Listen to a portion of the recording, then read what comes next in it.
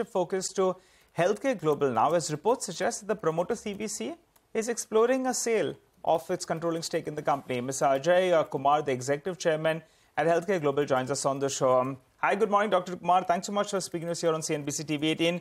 Well, have you heard anything? Uh, you know, your co-promoter CVC looking at selling stake, and I find it quite, uh, you know, startling because they have increased their stake in 2021, and in the last year as well, they've gone ahead and increased stake by buying out some stake from you. Suddenly, they want to sell. Have you heard anything? No, I, uh, all I can say is uh, the best people to comment is uh, CVC, who are our partners. I just want to say they have been very credible partners. And the last three years, as you know, we have done extremely well. And they have contributed a lot to the growth of HCG.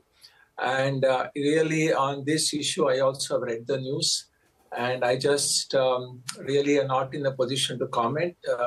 As um, you can take it like probably they'll be the best one to comment on this at this But Dr. time. Kumar, Dr. Kumar, you're a co-promoter, right? Uh, Yes. So you're, you're telling us that you have not yet heard from them. But if they're looking at selling, you still have 10% in the company. Will you continue to hold on to that 10% or there is a good buy? Reports are suggesting 20%, 50% premium. We have no confirmation on that. But uh, will you continue holding the 10%? Suppose there's a good offer, or will you also look to get out of them? At this point, as an oncologist and as a founder, my goal is really to really drive the oncology to the limits, uh, to the high new highs. And because we are very much focused on patient centric, that is why I was founded HCG, and I will Right. continue to do. No, so that's Mr. Ajai Kumar. Uh, I, we understand you don't want to commit, but is that uh, that's neither a yes or a no? So, will you continue to hold ten percent?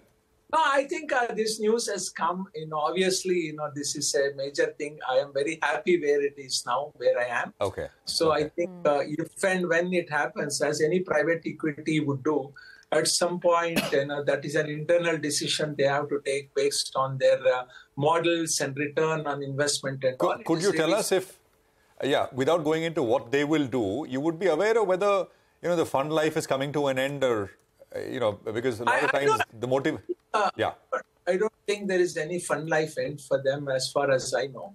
Okay. okay, So whatever the news is, it may be related to uh, looking at the return on investment and for them to take a decision. What but was their again, per- I want to emphasize What was their- that they are incredibly good partners.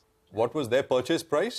Much lower. When did they uh, I think come in? uh, when they came in, the stock price, uh, major part of it when they bought uh, uh, per, per- the primary came in at 130, uh, about 90 million dollars, 130 uh, rupees a share.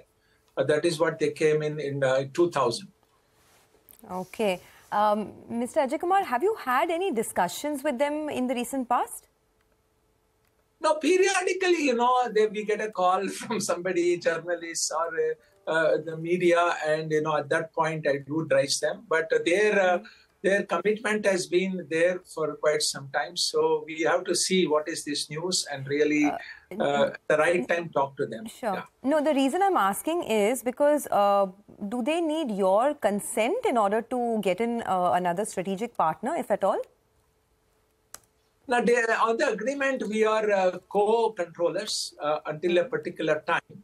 So at this point, we have equal rights. Uh, technically, by the agreement, yes, they would require my okay at this point. And would you be okay with that? Uh, you know, there's so many things uh, which have happened, and I really don't want to comment on that. I, I am, uh, you know, as a doctor, my focus is on the, the patient care quality. Yeah. Obviously, the, you know, I would like to work with them. Let us see, you know, what Yeah. is this news about. Take a decision at the right time. So you may have a say in the decision then with regard to who comes in. But uh, Dr. Kumar, uh, you know, who do you prefer? Because in the past as well, you know, the balance sheet had bloated up a little bit, the debt had gone up, and then CVC came and things have gradually improved from there. And from there, the stock price as well, because our audience is the stock market, it's improved quite a bit. Who would you prefer now? Do you think that another PE comes in and believes that there is value from here? Because valuation wise, you have some support. Or do you think another larger hospital chain comes Yeah. in there and buys it? You know, I'm just speaking generally, as you know, uh, whenever the, any per- person comes with a publicly traded company, they look at the future growth of this company for them to really invest, as any stock uh, investor does. But HCG is in a very strong position for growth because the number of centers we have had 24 centers uh, and we are in a consolidation phase. As we move on to the long term growth phase of doing even greenfield brownfield and strategic alliances mergers and acquisition I think our growth strategy can be phenomenal because you know we are still not there in several parts of the country, and we are establishing centers of excellence across southwest, east, and northeast. Uh, Mr. Ajai Kumar, so for Mr. us, strategically to grow is there quite a bit of. Uh, Sure, sure. So I, I think what Nigel was trying to uh, get at is if and, and when another strategic partner comes in, would it make sense to get another large hospital chain in? You know, just to augment the growth that you're looking at. Yeah, it, it depends on, uh, of course, the valuation, what, uh, what if and when CVC wants to exit, what is their uh, uh, level of satisfaction. But I think a long term uh, partner would be very good for HCG as we move along. But we have to see, you know, uh, the realities of the game and decide. As you know, HCG has had several private equity investors. We have given Yes. them successful exits, and we'll continue to do that in the time. Okay, all right, Dr. Kumar, very quickly before we let you go, obviously you've not yet heard from CVC, but with regard to your stake, suppose it is a 20% premium, will you go? Uh, Will you sell your 10%? Or do you want more than that? Do you believe the company is valued even more?